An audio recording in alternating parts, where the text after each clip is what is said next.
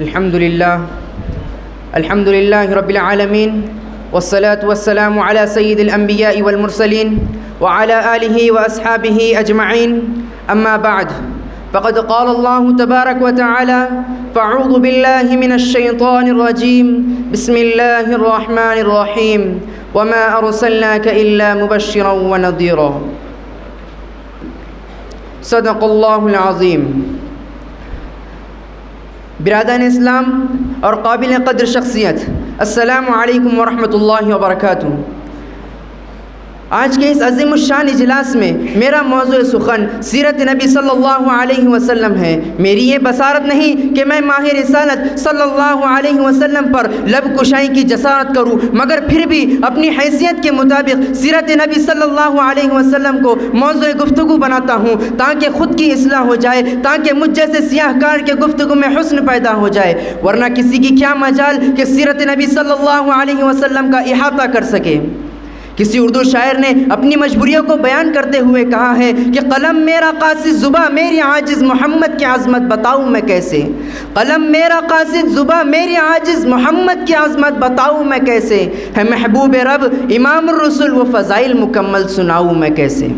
मिलत इस्लामिया के पास बानो नबी नबी करीम सल्लल्लाहु अलैहि वसल्लम से कबल पूरे जजीरतुल अरब में कोई हुक्मरा हुक्मरानी करने के लिए तैयार नहीं था और ना निज़ाम मुकम्मल था।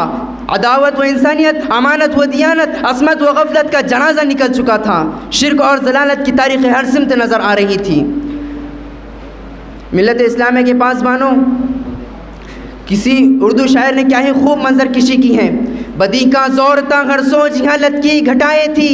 बदी का ज़ोर था, हर सो जिहालत की घटाए थी। वफादो जुल्म की चारों तरफ़ फैली हवाएँ थी। ज़रा सी बात पर तलवार चल जाती थी आपस में। ज़रा सी बात पर तलवार चल जाती थी आपस में। तो फिर जंग आती ही ना थी दो चार के बस में। अगर लड़की की पैदाइश का घर में ज़िक्र सुन लेते, अगर लड़की की पैदाइश का घर में ज़िक्र सुन लेते तो उस मासूम को ज़िंदा ज़मीन में दफन कर देते।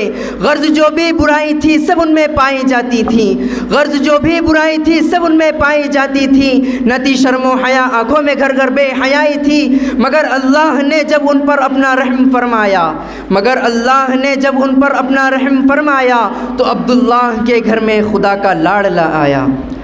कुदरत खुदावंद कुद्दूस ने इस पुरफतन दौर में हिदायत के रास्ते पर चलाने के लिए नबी करीम सल्लल्लाहु अलैहि वसल्लम को, आफ्ताब रिसालत को फ़रान की चोटी से आफ्ताब रिसालत सल्लल्लाहु को तमाम अनवार बरक़ात के साथ तुलू फरमाया।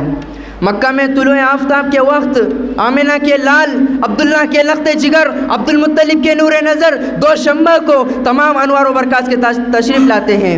सुबहान अल्लाह सुबहान एक अजीब माहौल नज़र आ रहा है।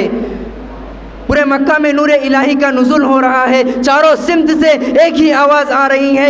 एक वाला आ गया, एक वाला आ गया। वो आ गए तो आ गया दुनिया में इनकलाब। वो आ गए तो आ गया दुनिया में इनकलाब। उजड़ा हुआ चमन था, गुलिस्तां कर गए। मेरे कलबे जिगर के साथियों, हज़रत आमिना ख़ुद फरमाती हैं कि मेरा नूर नज़र, लखते जिगर, उस वक्त कोई कलाम तो नहीं कह सकता था, लेकिन उंगलियों के इशारे से कुछ इशारा कर रहा था। वो इशारा क्या था? वो इशारा अशहद अल्लाह का इशारा था।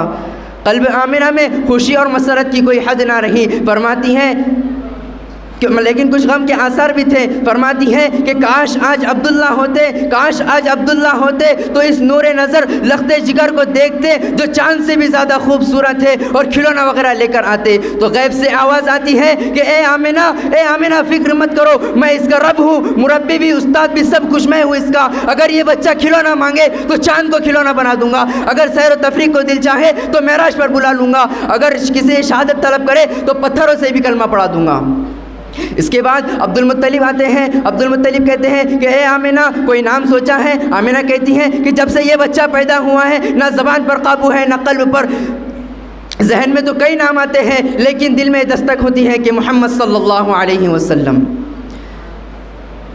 इसके बाद अब्दुल मुत्तलिब कहते हैं सुबहान अल्लाह सुबहान अल्लाह मैंने इस नाम को और इस नाम के बच्चे को पूरे जजीरतुल अरब में ना देखा होगा और ना सुना होगा। हज़रत आमिना फरमाती हैं कि आपने इस नाम को और इस नाम के बच्चे को पूरे जजीरतुल अरब में ही नहीं, बल्कि पूरी दुनिया में ना देखा होगा। इसलिए कि इसकी तारीफ़ खुद रब कायनात करते हैं और रफ़ाना लकदिक रख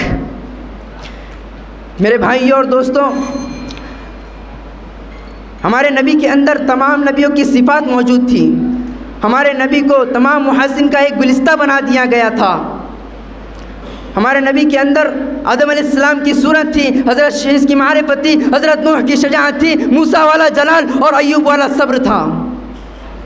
इसके बाद तकदीर हलीमा की जागती है। तकदीर हलीमा की जागी रहमत के बादल छाते हैं। तकदीर हलीमा की जागी रहमत के बादल छाते हैं। घर जगमग जगमग करता है, तशरीफ़ मोहम्मद लाते हैं।